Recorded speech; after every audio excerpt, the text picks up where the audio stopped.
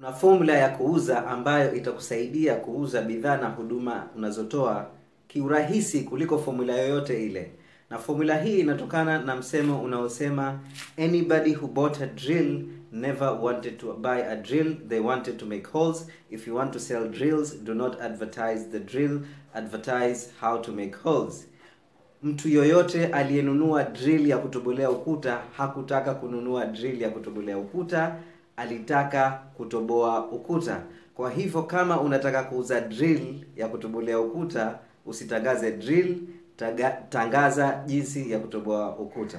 Kwa hivyo badala ya kuchukua bidhaa au huduma na unayotoa na ukaji, kutangaza ile bidhaa au huduma, tangaza utatuzi wa matatizo ya mteja wako.